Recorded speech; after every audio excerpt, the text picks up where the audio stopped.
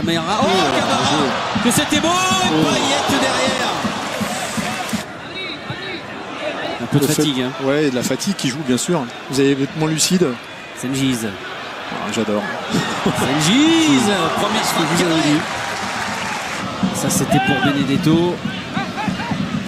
Pas réussi à couper. Oh bien fait ça Benedetto. Le petit extérieur du pied de Dimitri Payet qui. Sengiz. Connexion qui fonctionne bien sur ce côté. Oh, incroyable Oh là là. Le Turc, la frappe, elle est repoussée Deuxième mi-temps.